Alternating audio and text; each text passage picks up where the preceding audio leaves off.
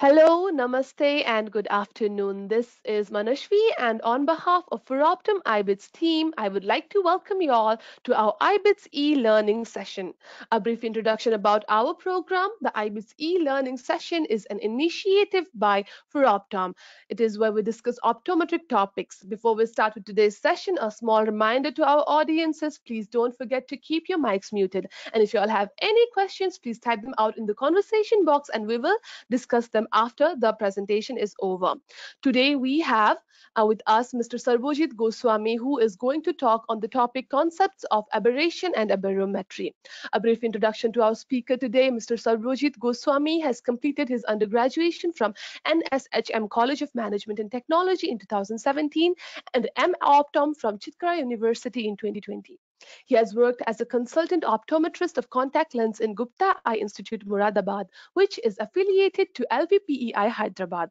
Mr. Goswami is currently a faculty in the Department of Optometry in Arka Jain University. So, on behalf of ForOptom IBITS team and our audience, I welcome you, sir. Thank you so much. Uh, good afternoon, everyone. So today's online session is all about uh, concept of aberrations and aberrometry. So uh, as we all know that the point object, if it is does not, does not focus on the retina as a point image, it will create a optical aberration. So as we are in a practice of optometry and we're doing a refractive the patients, so uh, we are just neutralizing the two component of the refractive system. First one is the spherical, second one is cylinder but we are not considering the whole refractive error.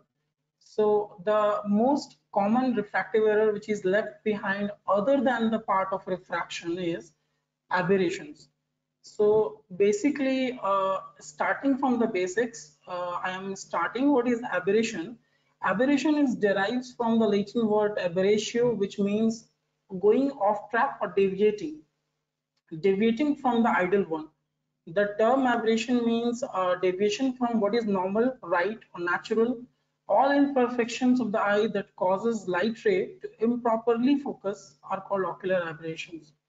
Uh, though the subjective refraction, if the patient is does not having any kind of refractive error, on that emmetropic patient also the aberration can occur. So in the introduction part, uh, when we ask the patient that how he sees the images, he may describe as uh, he he can see blur, he can uh, he or she can see double image, he can or she can see ghost-like images, he or she can see distorted images, color fringes, glare halos, after images. So broadly, the classification of aberration is divided into two parts. First one is the monochromatic aberration and second one is the chromatic aberration. In the monochromatic aberration we have to deal with the longitudinal transverse paraxial rays or uh, spherical aberrations. Second one is the chromatic aberration. So the aberration or any kind of change from the ideal path of light rays from the spherical surface is uh, spherical aberration. Basically in the monocular aberration all about Seidel's aberration in which include the spherical aberration, coma, astigmatism, distortion. This kind of uh, aberration can be corrected by the uh, optical system of the eye and uh, you can also correct it with the refractive error. But this all are under the fall of low order aberration. But there is a section called high order aberration where you cannot correct this kind of refractive error through your uh, refracting the patients or retinoscopy. So as you all know that the chromatic aberration is caused by the dispersion of light ray, the variation of the index of refraction medium with different wavelength. When the white light is passes from the uh, lens, uh, then it will be having a shorter wavelength will coincide uh, certainly before the retina and the longer wavelength will certainly coincide beyond the retina. So uh, astigmatism is a part of low order uh, aberrations and the high order aberration is something different which I'm going to explain you right now. Uh, low order aberrations. So basically the uh, aberrations is divided into two parts, low order aberration and high order aberration. Low order aberration are simply the defocus, such as we are seeing in the refractive error patient like myopia, hyperopia, astigmatism, which is correctable by the glasses.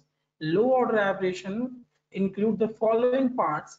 The first order aberration, this is a linear aberration corresponding to the horizontal x and vertical y axis. This describes the tilt or prismatic error of the eye.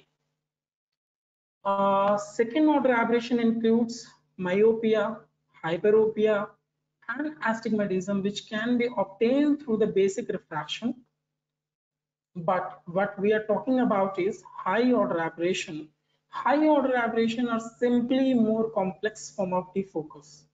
High order aberration are present in all human eyes, in normal also, as they are minor because it is they the uh, patients are not undergoing any kind of uh, intervention or surgery but after the LASIK surgery or you can say after the uh, premium cataract surgery IOL implantation the intervention to the eye will create a kind of aberration.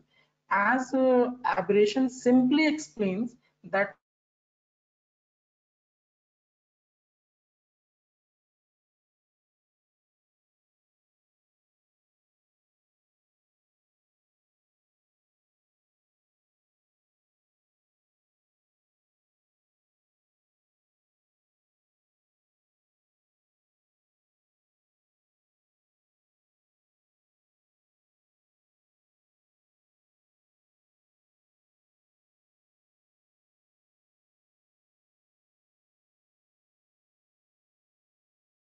Hello, hello, sir. Very sorry to interrupt you, but we're not able to hear you anymore.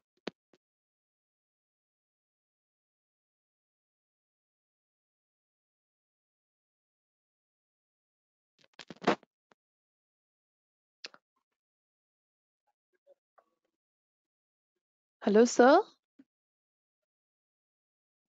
Hello, sir. Very sorry to interrupt, but we're not able to hear you.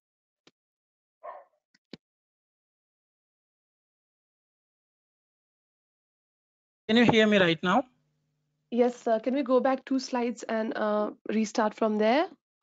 okay okay no issues Thank you, sir. so uh, what we are talking about is uh, the classification of the high order aberration and the low order aberration. Aberration is basically classified into two following categories. The low order aberration is simply a defocus, which is your refractive error like myopia, hyperopia, astigmatism, which is correctable by the glasses. Low order aberration include the first order, which is linear aberrations correspond to the horizontal x and vertical y axis. Is just describe the tilt or any kind of prismatic error to the eye. Uh, second order aberration is also includes the refractive error like myopia, hyperopia, which can be basically obtained by the uh, refraction. So what I'm talking about is the high order aberration, which is a complex form of defocus. High order aberration are present in all human eyes, but in normal. High order aberrations are so minor that they are briefly noticeable if any, but if any kind of intervention or any kind of operation or any kind of intervention to the eye can happen will lead to a high order aberration either if the patient is having a pre-op instant aberration or later on it will it will get more complicated. Here is the condition what i'm talking about the clinical conditions which are he may have the high order aberration the first one is the dry eye keratoconus post LASIK surgery cataract post PK as you all know that aberration is simply a propagation of the wavefront so when the light rays will travel from the external medium to the eye, it will go through a different kind of optical media, starting from the cornea, then the aqueous humor, then lens, then vitreous, and then hits the retina. So any kind of change or any kind of deformity which is occurring in the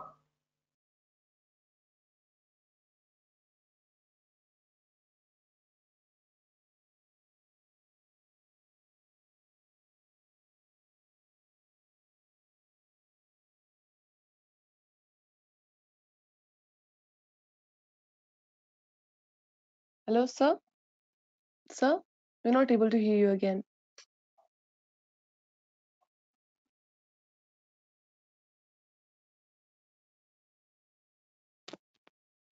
Hello, sir? Uh, hello. Yes, sir. Yes, we're able to hear you now. The voice was gone a couple of minutes back. Okay. So, okay, shall I continue from now here? Yes, sir. Yes, sir. Okay.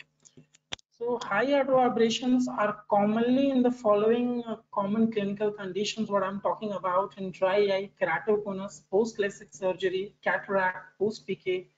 Why is it so? Because the aberration is simply a propagation of the wavefront. When the light rays arrive from the external media to the human eye, which act as an optical system, it has to go through cornea, lens, aqueous humor, retina, so on through the ocular media. Then what happens when there will be uh, any kind of deformity or any kind of intervention which makes a change in the curvature of cornea or lens, it will create uh, aberrations. Uh, in dry eye, the, the irregular tear film instability will create a high order aberration. In keratoconus, the poor corneal structure or curvature post LASIK surgery because there will be an intervention between the normal cornea to ablated cornea then the cataract the changes in the lens and the post pk where the whole cornea has been removed.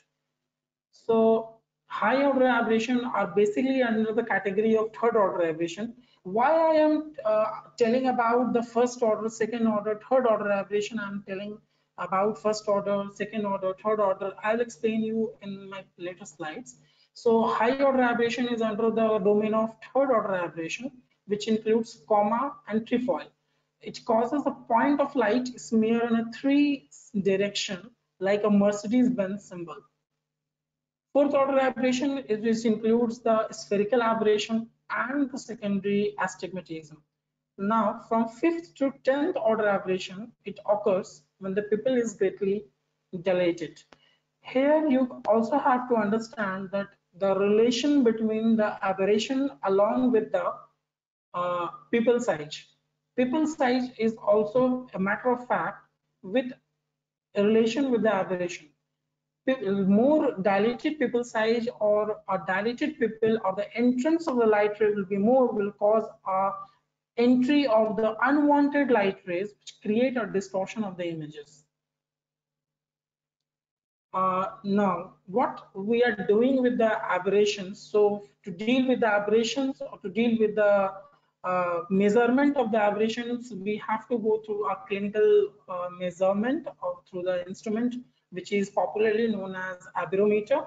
Aberrometer is a diagnostic tool which is used to identify the visual error new way of measuring the visual error that allows the optometrist to differentiate between the refractive and high order aberrations, differentiate between the corneal topography measurement and the optical quality of the eye relative to both cornea and the lens of the eye.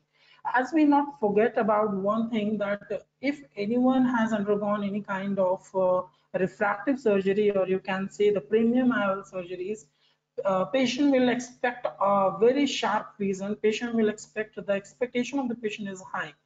To achieve that, we have to search it out that the, if the patient is having any kind of uh, high order aberration, if the patient is having any kind of uh, uh, low order aberration, it, it is very much important to understand because what happens later on post surgery, it will create uh, unsatisfaction to the patient and will not give a sharp vision to the patient here.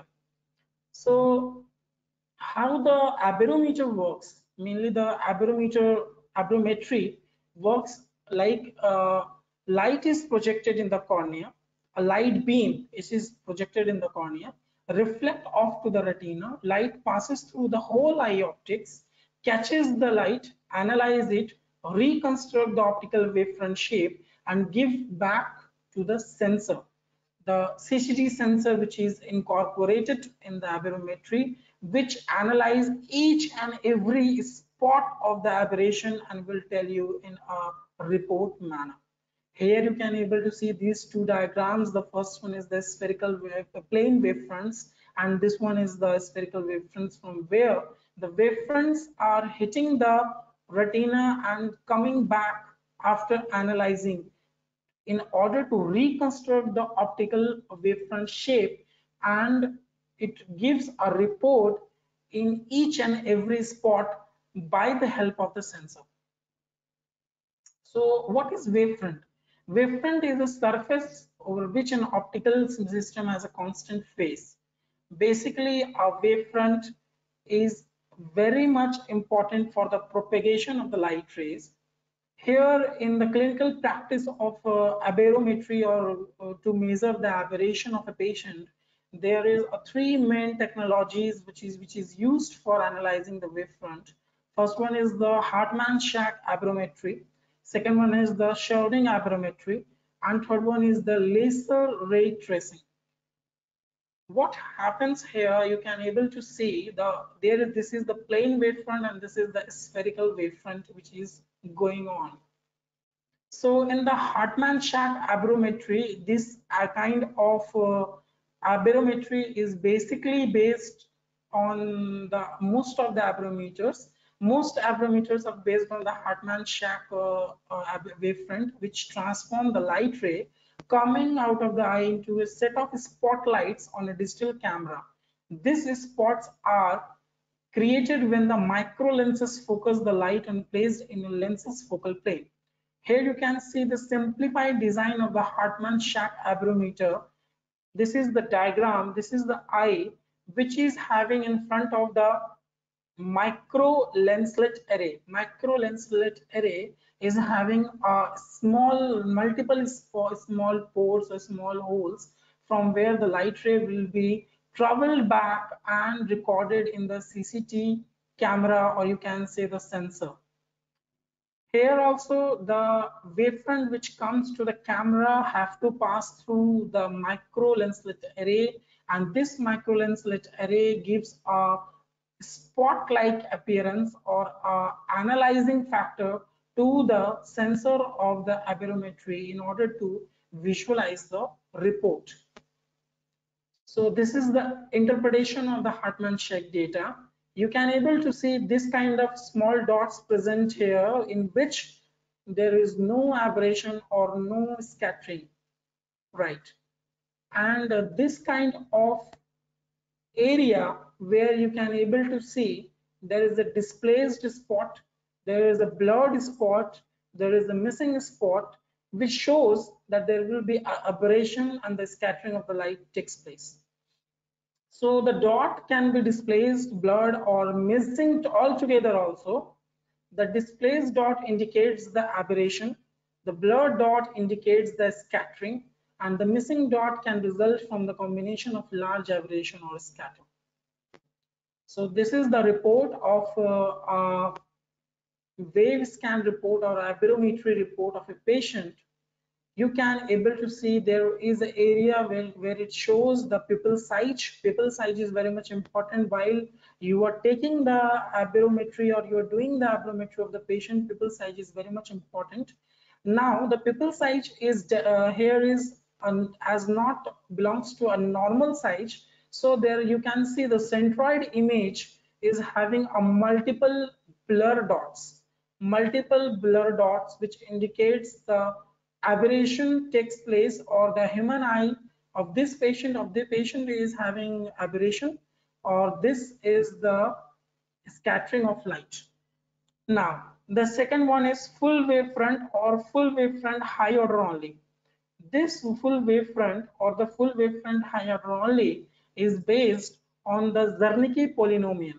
What is Zernike polynomial? Zernike polynomial is a mathematical tool which is used in the aberrometry to regular regular utilization or analyzing the aberrations of the human eye. I'll show you the figure and I'll make you compare with it. So common models present in the market are Zywave aberrometer, which having a Hartmann-Shack, and then Alcon LiDAR wave, Nidek OPD scan, two wavefront aberrometry, Topcon KR9000, Zymer Maxwell optical wavefront aberrometer. This all aberrometer models which are present in the market are following the principle of Hartmann-Shack aberrometer principle. Okay, the second one is the Tscherning aberrometry. Tscherning aberrometry measures the light as it enters. It shines a fine bundle of 168 pinholes of red laser beam into the eye. This beam uh, forms a pattern on the retina. As it transfers, they are bent and distorted by the optical system. The image of the laser grid pattern on the retina is highly sensitive video camera and then analyzed. Here you can see, here you can able to see when the light ray will pass through the human optical eye, then what happened, there will be a return wavefront which takes place along with this to the CCD camera and then computer and there will be an analyzing area where it analyzes the whole aberrations in a grid pattern manner. So basic models which are following the Tscherning aberrometry principle are Wavelight Analyzer, Wavelight Allegretto, and Alcon. Okay, now the third one is the laser ray tracing. Laser ray tracing is a technique in which the thin infrared laser beam is projected on the retina and the location of the reflected by one by one succession over 64 sampling point. These all are the points on the retina which is going to analyze by the laser ray tracing with the help of laser beam in the 64 sampling point. This procedure is so fast done within a 0.06 second and it is also does not have any kind of error in the movement of the patient while you are doing the aberrometry. So the common models which are present are iTrace tracing technology, Topcon iTrace combo visual function analyzer. These are all models of aberrometry which is present in the market are follow the principle of laser ray tracing.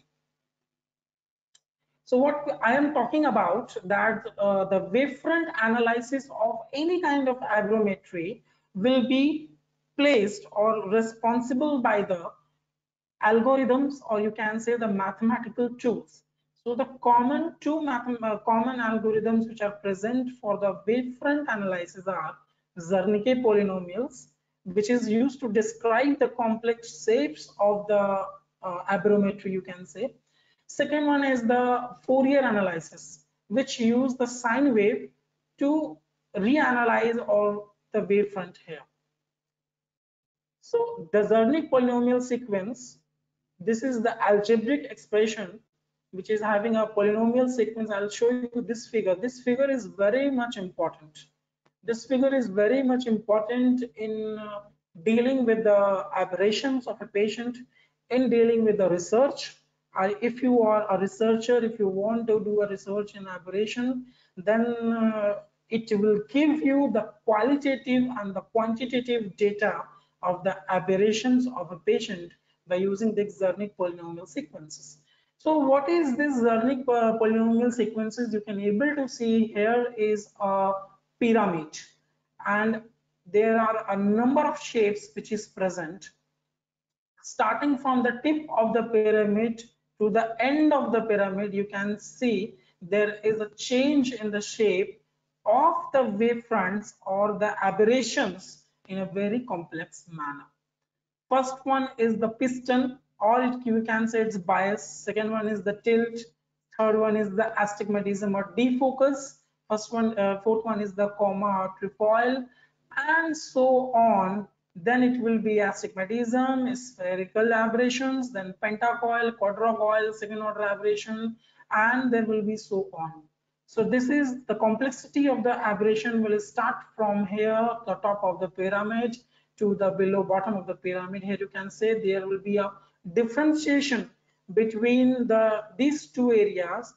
Up to this, up to astigmatism or defocus, there will be a low order aberration, which I already discussed with you that it can be corrected by the glasses or you can say the correct correction of the refractive error beyond that beyond that it starts the high order aberration till the last one So this Zernike polynomial is basically very much important to understand the type of aberration, the shape of aberration, in which category the patient's aberration follow. This is very much important to understand. Either you are doing a kind of refraction or you are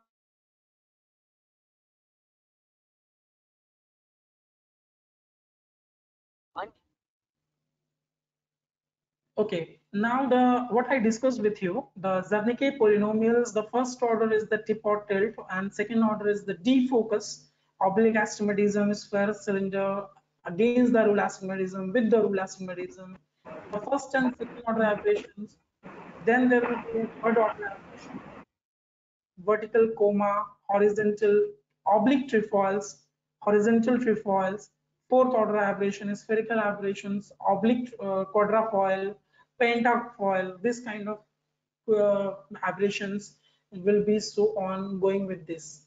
So uh, these are the two figures you can first one is the pupillary plane and second one is the uh, retinal plane. So from the pupillary plane you can able to see that uh, whenever you are doing the refraction of the patient, do not misunderstood with the fact that if you are correcting the spherical and cylindrical component of the patient, you had completed or neutralized the total refractive power. No, isn't not happen actually.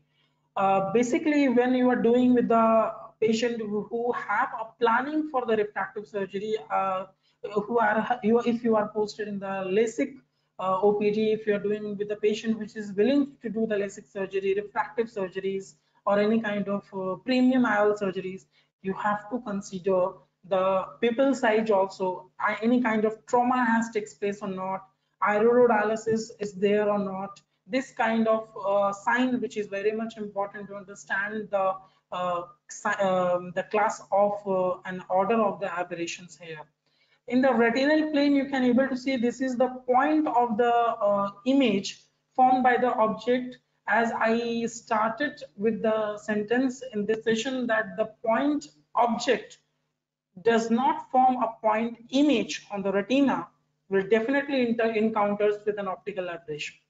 So here you can see where there will be a bias or you can see the low order aberration, there will be a point image. But when you go further, you can able to see this point image will be distorted or this point image will be scattered way. Here you can see from the top of the pyramid to the bottom areas. This area is also known as in the interpretation of the aberrometry is Airy disk. Airy disk as the terminology given by George Airy that uh, the point image if it is formed then it will show this kind of images. If the point image is not forming any kind of aberration is here either due to the changes in the cornea either due to the changes in the uh, lens, then there will be a distraction or the scattering of the light rays, which shows here, and you can easily interpret this in the aberration report. Okay, so now this one, this is the very interesting journal uh, which I am sharing with you all that uh, perspective making sense out of wavefront sensing by the uh, JS Pepose and the team. Uh, it is published in uh, American Journal of Ophthalmology, which is uh, very much showing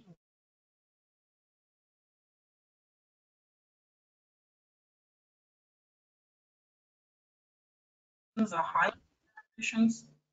So this journal is very much important if you are able or interested to know about more about the aberrations, then you will uh, search it out and you will read this uh, um, journal which is very much important so what what are the key factors which is uh, present in this journal which i'm going to share with you that the light rays from the center of the pupil plays a greater role in defining the visual perception attribute to the photoreceptor orientation so the centration of the light ray is very much important the centration of the light ray within the pupil is very much important in order to uh, gain or in order to achieve the sharp vision.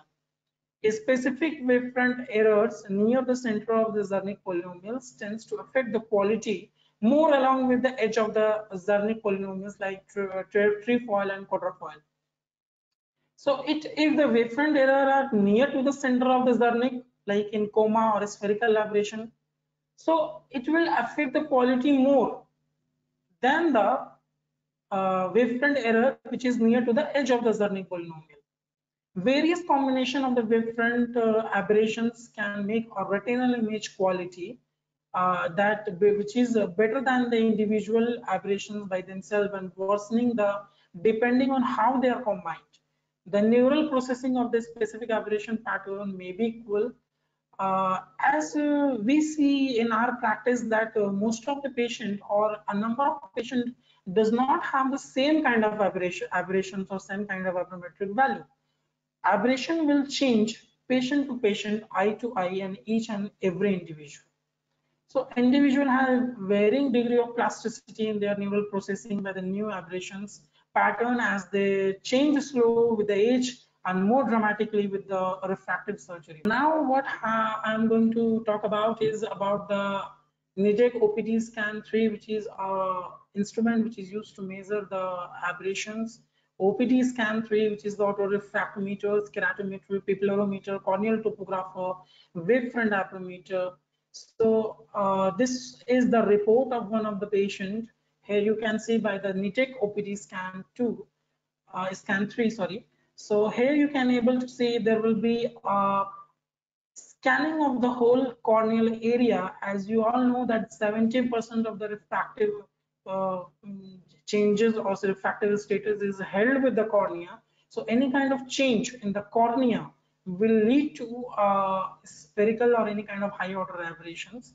So uh, there you can able to see the asphericity. Here you can able to see the spherical aberrations you can see and the pupil information either it is photo photopic or mesopic and uh, there will be uh, one very important thing that is the refraction area there will be a spherical component there will be a cylindrical component and there will be a root mean square value so what is root mean square value root mean square value will show you or give you the idea that how much the patient's aberration is differ from the ideal one uh, just as you all know that the deviation from the ideal one is cause or aberration.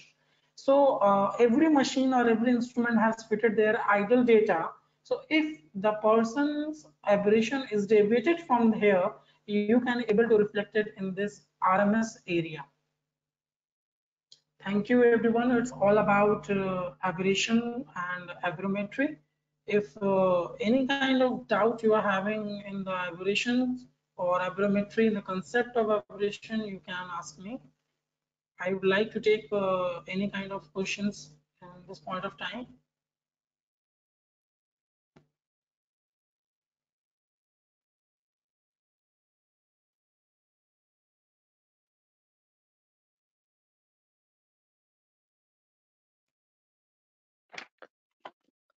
Uh, thank you so much. So that was a wonderful pre presentation, and I'm sure, like me, our audiences have also Im immensely enjoyed it. And so we're now open for questions. So I'm requesting the audience if you guys have any questions, you can either connect directly with Sir, or you can just type the questions out in the conversation box, and I'll read them out to Sir. Okay, so, yes, sir, so we have a few questions yeah. One of my uh, one of our viewer has uh, asked that how to manage aberrations. Uh, simply uh, managing the aberration by in order to achieve a visual acuity is uh, simply a fact that the patient a patient's aberration or any kind of uh, refractive change when patient will occur then we have to do with the uh, like uh, you can able to say the photochromatic lenses or you can able to do the ARC coating lenses where if the patient is having a delicate pupil size then there will be a more number of aberration or more number of unwanted light will enter to the pupils uh, which will create a higher. So with the help of the optical devices or the glasses, the specific optical glasses like uh, ARC coating or the photochromatic lenses, you can able to manage the aberration. And uh, one of our viewers has uh, ask the how to deal with high Sir, very sorry to interrupt you right now. We're experiencing some disturbances in the audio. So, in order to do the LASIK, basically there are a number of technology which came up uh, in a certain era Hello, sir. with Sir? a LASIK measurement instrument, which is known as the wavefront guided ablation or wave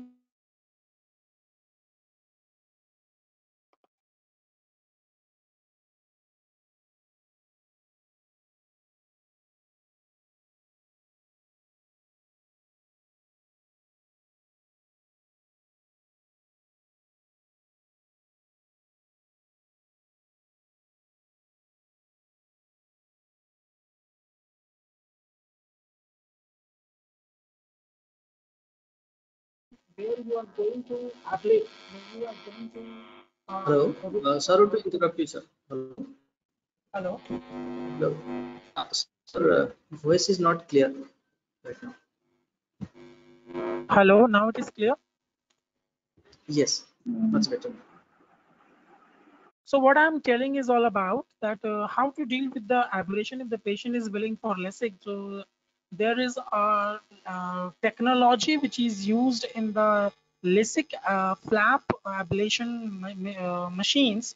We can say the wavefront guided LASIK or wavefront guided ablation, in which you can uh, able to see that uh, the area which is you are going to ablate to neutralize the refractive power there will be a guidance of wavefront through the instrument which is managing the wavefront of the area the peripheral cornea where the ablation has not been takes place or the uh, area where the ablation has takes place so basically this is the instrument uh, which is come across nowadays ophthalmologists are very much practicing uh, in the wavefront guided ablation LASIK plan. Okay. So the next question from the audience here, uh, can you explain about the point spread function? Uh, Uh, hello, sir. point. Uh, sir, hello. Uh, could we Hello. speak a little closer to the microphone because we're experiencing some disturbances? Okay, is that fine now? Yes, sir. Thank you. Okay, so one of our viewer has asked that the, can you explain about the point spread function? Uh, basically, the point spread function is describes the response of the imaging system to a point source or a point object. Uh, you can able to understand by the thing that the the airy disk what I am talking about is uh, the point image reflection if the patient does not have any kind of aberration or have a low order aberration then the point image will create on the retina and it will show through the airy disk or a point image is shown in the aberrometry report. But what uh, a point spread function is all about which is describing the uh, system's, uh, you can say the impulse response. Uh, the impulse response you can say the area from where the patient is want to see the area from where the image has been formed that area is not distracted not distorted not blood so that we can understand that how much the aberration patient is having on that area or how much the patient is experienced the aberration on that particular area. This is all about the point spread function.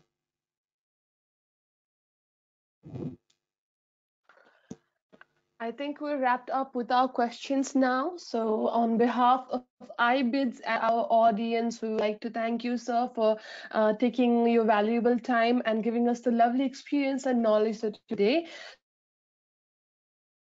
Thank you So, so on much. behalf Thanks. of our Optom team, I'd like to request you to just share your experience. Yeah, uh, I'm very much glad that uh, the Optum India or the optometry bid will give me a chance to, in a very uh, great or very well-known platform, to share my concept or share with the optometry aspirants that about something new.